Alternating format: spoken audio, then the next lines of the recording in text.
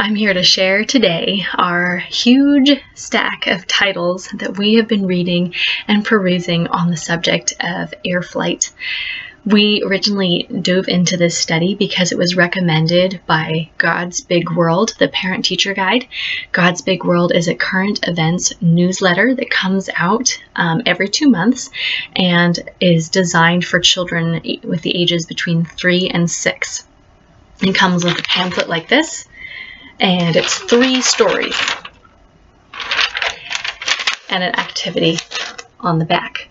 And the story for this week that correlated with flight was actually about a license plate in Ohio that had um, gotten the airplane facing the wrong way, backwards. It was attached to the banner um, in the front rather than in the back. So Ohio had to redo their license plates. So that was the fun little current events tidbit that we based our whole study of flight and um, air travel around. I'm Julia. Thanks for joining me on my channel, Freestyling It.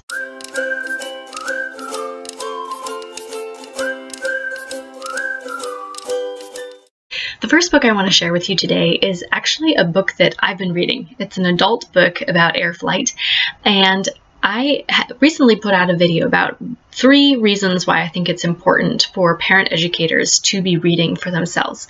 And when I'm saying reading for themselves, I'm meaning reading for pleasure and reading to deepen one's own knowledge of the world around them. So I have started sort of a practice, a habit of perusing any adult books within the category or the study that I'm going to be pursuing with my children.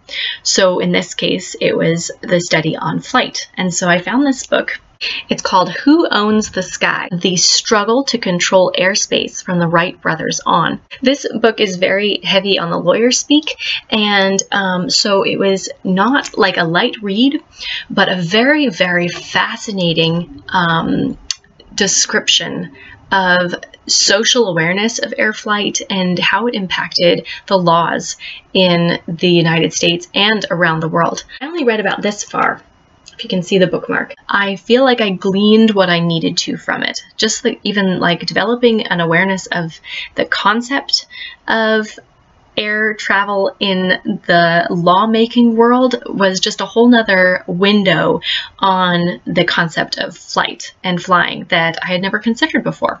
So I would highly recommend as a parent educator to do a little research on your own, whether it be getting an adult book out or watching a movie, even like on YouTube, searching something out that just kind of deepens your knowledge of a certain topic. It kind of throws you into the educational journey as well on an adult level. All right, now let's get into the kids' books. Before I introduce the next book, I would just like to say that in addition to learning about flight, my children had also come across a reference to flying squirrels, and that had piqued their curiosity. They had asked me about what flying squirrels were, and my response to them was, let's get some books out of the library. And so I did some searching on the library and I found a couple books about flying squirrels. It's not very a very proliferous subject um, with a ton of books to choose from. Um, so I'll show you these few. I had paired learning about flying squirrels with this topic of flight because it just seemed to go so naturally together. So just wanting to draw attention to the fact that I'm listening to the interests of my children and responding to their interests that they voice and combining it with the topics presented in our current event parent teacher guide. So I love it when these things meld together, which happens a lot, and this is just one instance of it. So here's the first book, Flying Squirrels this is a very simple, um, uh, straightforward book. I'll give, just give you an example of the words here and the pictures. Um, really, really fascinating. Um, and when I say really, really fascinating, I'm talking about the squirrels themselves. They're amazing little creatures, and you just gotta marvel. This is the second book, um, info book on flying squirrels, which has um, the topic of world's weirdest animals. So there's a series of the world's weirdest animals. Um, so this is another informational book. Um, you can see each page has like a different um, topic. Oh, almost every page has a different topic um, that where they address some new information about flying squirrels. This one, Flying Squirrel at Acorn Place, um, is told in story form. And I've said before on my channel that I really love um, books that teach facts or books that present facts in story form because I've I know for myself, and I can see in my children that the ability to assimilate facts um, happens a lot easier when it's presented in, in a story form. Um, and that's because it can go deep not just in the head, but it can go deep into one's own um, consciousness, into a, you know their heart space as well.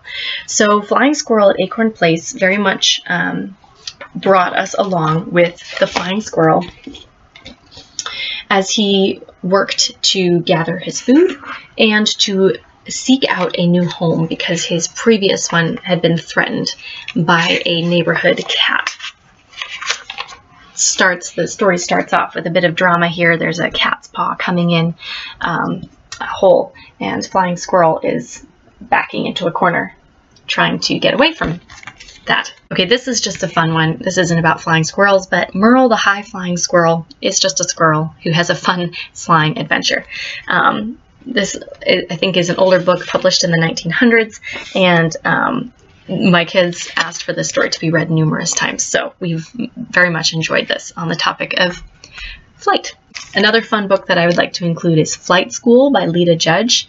Um, recently, Read Aloud Revival, which um, is a group founded by Sarah Mackenzie to encourage families to be reading and developing a read aloud culture in their homes.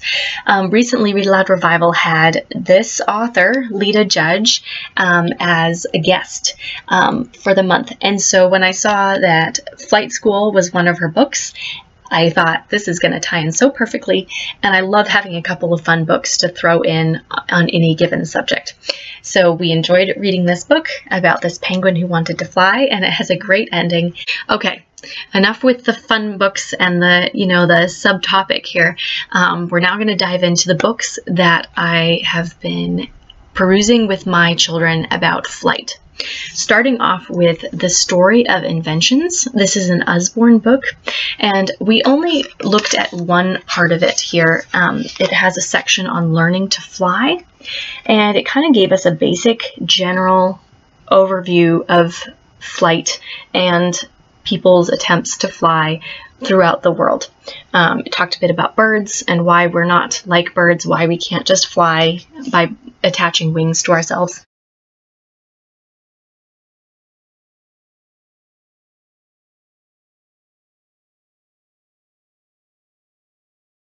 And it talked a bit about gliders and planes and about some parachuting that people attempted and successful attempts.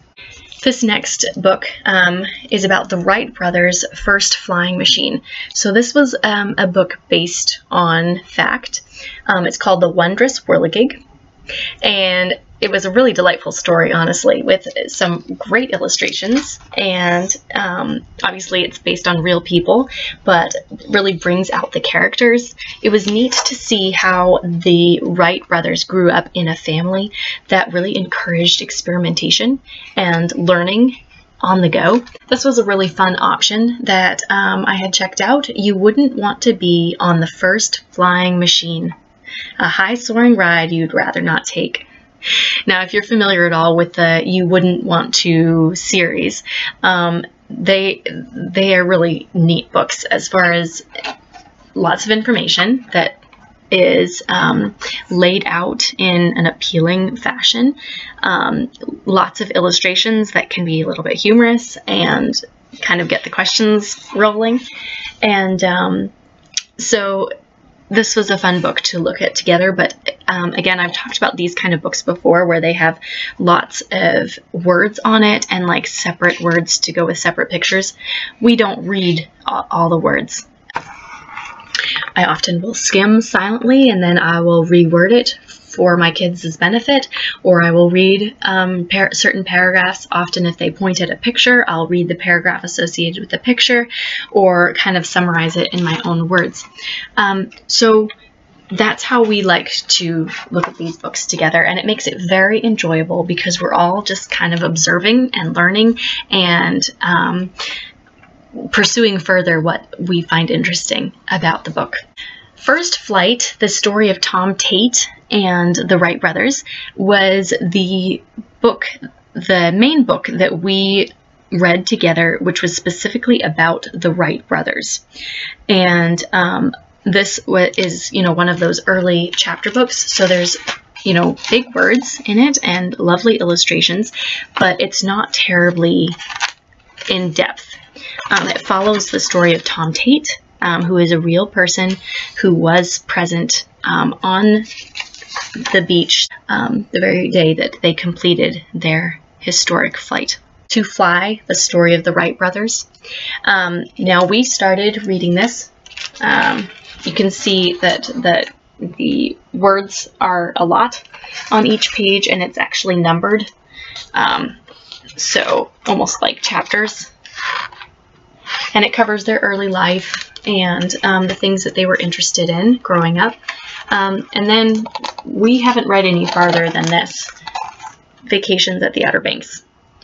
And I don't know if we're going to. I've had it up on our freezer, um, which is where I keep the books that we're currently reading um, for like pulling out at our breakfast times um, or other meal times when the kids are sitting down for a bit and I can read.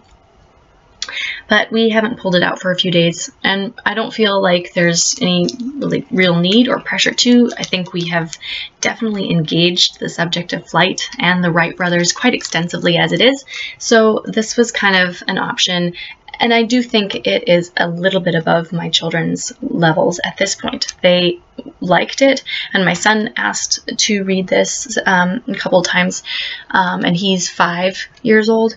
Um, but I don't feel like uh, we're losing out on anything by not finishing it. We gleaned what we did, and that's good. The Big Balloon Race focuses in on a woman, Carlotta the Great. Carlotta made more ascensions in hydrogen balloons than any other aeronaut of her time. So, quite an interesting character who I wouldn't mind learning more about. This book, Take Flight, was kind of an overview of flight in general. Um, it is put out by Ripley reader from Ripley's Believe It or Not um, series. This was a, fascinating part about barnstormers and how they would um, do stunts on airplanes. So this book was kind of full of other things like that that would kind of make us go like, huh, really? That would happen? Wingsuits, just kind of covers all the things that one might be fascinated by in the world of flight. Jet plane, how it works. Okay, this book I would highly recommend for learning about what the concept of flying is. I found it amazing. I'm not really a mechanical person. My brain doesn't really work that way, or I haven't thought that it works that way.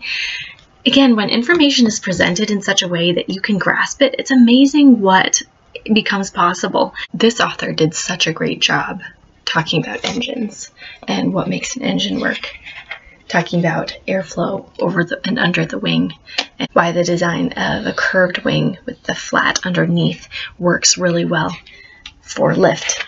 Just a lot of like scientific ideas here as well as mechanical. Um, so I found this fascinating and I thought it was a great introduction for my kids um, for how a jet plane works. This book, Super Fast Planes, was selected by my librarian when she saw all the other books that I had ordered. This talks about um, breaking the sound barrier. It started off with um, military airplanes um, and the beginning of powered aircraft here. Um, I think it's kind of unfortunate in one sense that a lot of the drive for fly flight has come from war, but it still is very fascinating to see the amazing um, flying machines that have been designed and created. This book, All Kinds of Planes, was I did well, I didn't know what it was going to be like when I first got it, but I saw it at the library and I picked it up. And it basically just lists a whole bunch of different aircraft. And it gets really silly. Like my kids were giggling quite a bit um, with different um, pictures here, like flying bathtub and carrot plane, along with listing actual planes. We went over this book twice in one sitting, and there was giggles all around. All kinds of planes. And the last one, save the biggest for last here. The Big Book of Airplanes. Discover the biggest, fastest, and best flying machines. And this is a great overview of different planes. Let's see, I'll give a little bit of room here. It's a big book. Um, this one actually really fascinated my son. He wanted to learn more about the Velocity, which is an airplane that you can purchase the kit.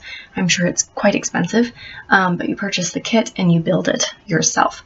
So we actually ended up looking up a YouTube video about a tour of the Velocity um, factory, which is located down in Florida, and um, learned a bit about the Velocity from that video. So this ended up being an interest for my son. Stunt planes, flying laboratory, just covers many different types of planes. Um, Again, this is the kind of book where I don't read every word. We look at the picture, we comment on what's interesting to us. I look and see if there's anything written up about whatever has been commented on and kind of add to the conversation by saying, oh, well, this says such or that, such or so, you know, whatever it is. And, um, and then we, you know, take it from there. So really, um, great overview with great pictures, really hit the spot as far as learning about a variety of different airplanes in one place. Well, that was it. That was the last book, and um, we had a lot of fun. In fact, my son is still interested in airplanes and he's like, we're not done yet. I plan for each of our unit studies to last about a week. This is actually um, school vacation week for the public schools in our area. So it worked out really nicely because airplanes was kind of a heavy week. We were in the books um, almost every day, always learning something new. And then this week, um, the topic in God's World News has been more low key. I haven't ordered as many books. We're kind of um, taking it as a vacation week, even while still doing school, which is kind of how I see life in general. Always learning, never fully taking a break, but sometimes stepping back, you know, stepping off the gas a little bit and and um, cruising. And that's kind of what this week has been. It's been a cruising week. So aside from continuing to learn about airplanes and learning about another topic, we are cruising and we're sharing the discovery. That's what this channel is about. It's about encouraging you and your families to be sharing the discovery with one another, to be embracing the learning journey together, and to really be excited to grow in our knowledge and not just our head knowledge, but our heart knowledge as well, which comes through story a lot of the time. All right, well, thanks for joining me. I hope you can check out my other videos. I've got a lot of other unit study videos out as well as um, other shorter videos on why um, we might do things a certain way. Uh, so check those out if you feel inclined and um, check back soon for more content.